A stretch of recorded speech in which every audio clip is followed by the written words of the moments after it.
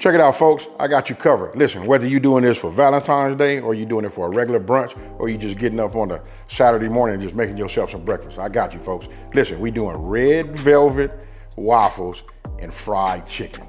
Let's get it. Okay, so listen, I'm not gonna talk about the ingredients you guys can see. Obviously, that's an egg, but the full ingredient list will be on my website. That's smoking and grilling with AB.com, and that's W-I-T-A-B now, if you look right here, look, we got to go ahead and get that chicken going, right? This is my seasoned flour. Don't forget, I just made this. I'll put a link above me so you guys can click on that and see the full video. Okay, so you see this right here?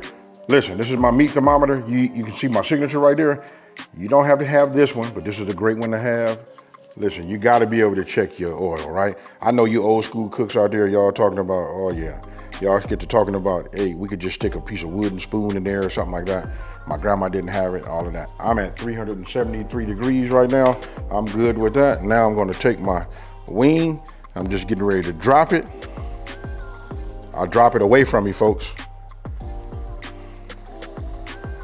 I don't overcrowd. Don't forget it's gonna drop in temp.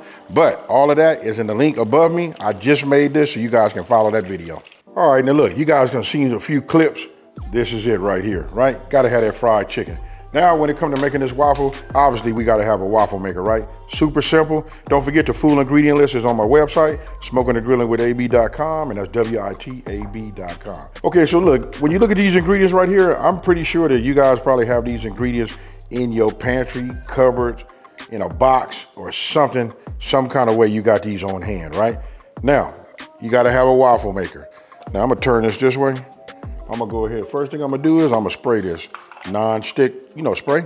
You guys use whatever you want to on, you know, your own uh your own brand. But you know what? I'm kind of like partial to that to that Pam.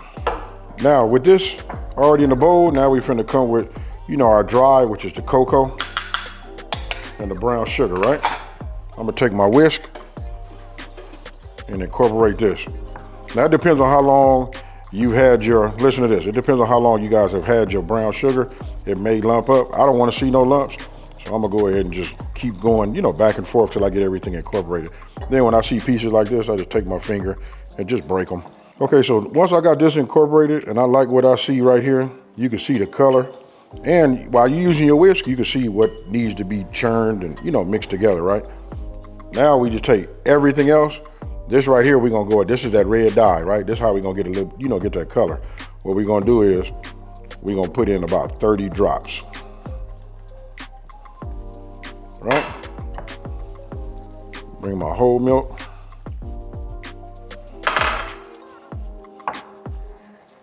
And notice that I'm just, I'm constantly just mixing.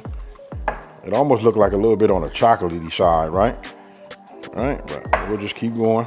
If you had any more lumps, as you mix it, as it's wet, they just break up, right? So now, vanilla extract.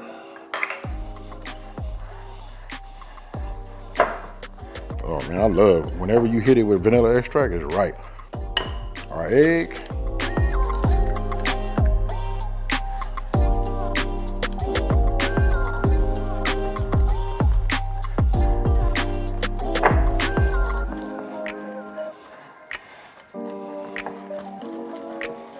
Right? And now we go to the fun part, this right here.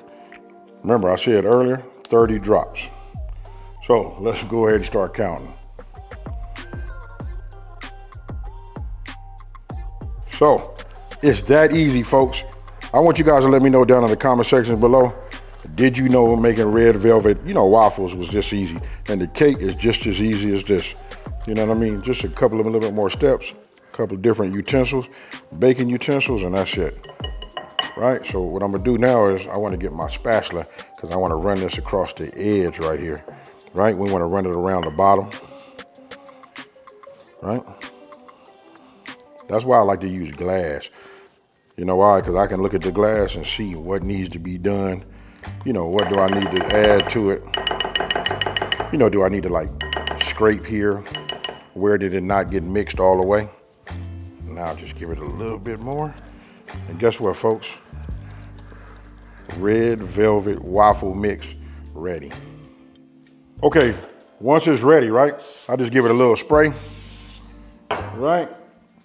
I put it my batter inside of a, I put my batter inside of this Pyrex, you know, make it easy to pour, right? So I start in the middle like this, and what you wanna do is you wanna make sure you get it all over, right? So what I do is I take my spatula, kind of like just bring this around this way. Then if you wanna add some more to it, you can, but you just wanna make sure you can get it to, you know, like completely flow, right? And it looked like it could take just a little bit more. So we just add it like that. We just wanna get maximum coverage. Close this lid like that, right? I take it, I bend this, and turn it over, and we wait till we see green. Okay, so now that it's ready, ah yeah, look at that right there. Now let me just go ahead and put that on there. You guys can figure it out from here. This on a plate, chicken on top, maybe a little greenery, and bam.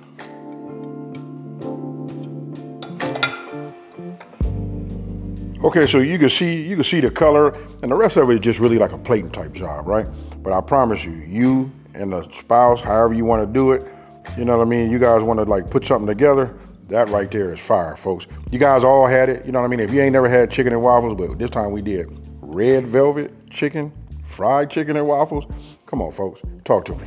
Okay, so you guys seen it, right? Listen, we just got red velvet waffles. Look, that's like a level up, you know, just the appearance alone. And don't forget, I got that link up there, right? So you guys can click on that. You guys can see, you know, just how I made, you know, my uh, fried chicken. Now, what I'm getting ready to do is I'm gonna just go ahead and eat me one of these because I have not ate one as of yet.